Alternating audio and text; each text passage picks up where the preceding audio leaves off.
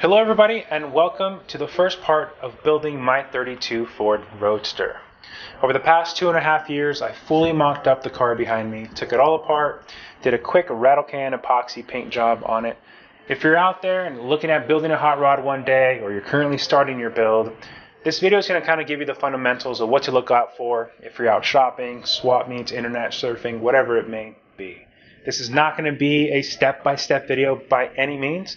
It's really me just sharing the information, the stuff that I learned, again, the fundamentals, to hopefully give you the confidence and a little bit more knowledge to have a successful hot rod build. Many of the clips that you already saw, a lot of those clips are on Instagram right now. You can go over to Ene underscore garage.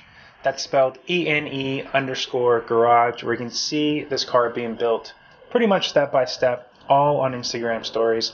There's currently four parts, and we'll probably likely get to part five towards the tail end of this video.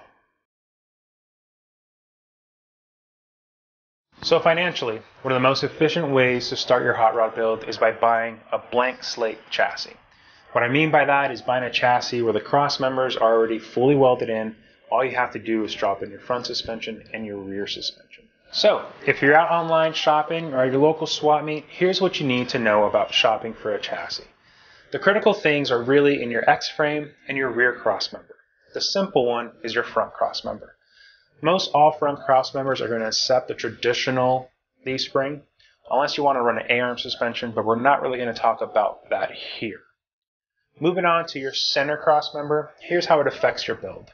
Really, the main thing you're looking for is how are you going to set up your pedal assembly, your brake, and your clutch if you're running a manual transmission. Some manufacturers like Brookville or TCI, they already sell a nice pedal assembly that will bolt right on. But if it is a custom built frame, you want to just see if there's already a flat plate installed for you to mount your master cylinder. Is there going to be enough room for your brake lever, and your clutch lever, those kind of things. Now, the more critical of all cross members is the rear. When you're shopping for your chassis, you're going to want to see what kind of rear cross member it has. And you're really going to get two options. Is it going to accept coilovers or a buggy rear spring? Let's get into the actual rear suspension that further explains whether you're running a coilover or a buggy rear spring.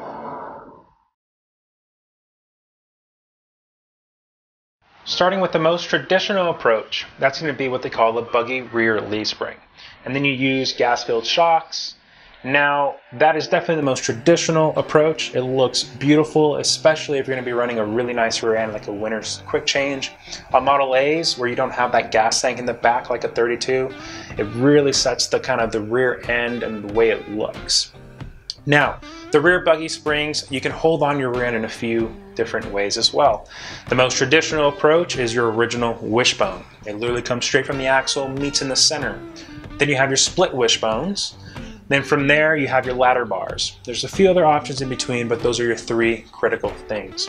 The main drawback towards a rear buggy spring versus coilovers is coilovers, you have a lot more adjustment. In the market today, you have coilovers where you can adjust your dampening through the turn of a knob.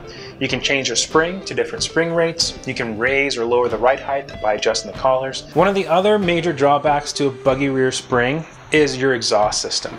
It is a pain to get your exhaust system to go through the X-frame, nice and tight to the ladder bars and somehow over your axle and then from there you can't really go to the side so you're kind of either going to shoot straight down or go underneath the tank. So as you're googling these things, check out the exhaust as well because the rear suspension is really going to set you up for what type of exhaust system you're going to be able to do. When it comes to coilovers, you really have two different options. You have a parallel four-link bar which also uses a panhard bar in order to keep that rear end center at all times. Your last and final option is a triangulated four-link. Your bottom two bars are parallel and your upper bars are triangulated and that triangle is what keeps your rear end nice and center. That's the setup that I went with. Ultimately, in my opinion, the rear four-link is the most versatile. It also uses the least amount of parts. Less parts means less things you have to maintenance down the road and it also leaves the center of the car really exposed for your future exhaust system. Again, it's totally up to you. There's pluses and minuses to any decision you make. What you need to know is that your rear suspension really sets you up for what type of exhaust work you're going to need to do in the future. The only thing really left is your front setup. Now, in the front, you're more likely going to run a solid I-beam axle, unless you run A-arm stuff. We're not really going to go that route. It's a little bit too modern, a little too street rod for probably what this crowd is doing. But for a solid axle, it's really simple. If you're going to go out, and start shopping, especially at your swap meets, here's what you're looking for. The first thing is, is it straight? If it's a used axle, stare down the middle of it and make sure there's no waves or anything weird like that. Other than that, you have three critical things when buying an axle. The most critical one is your drop.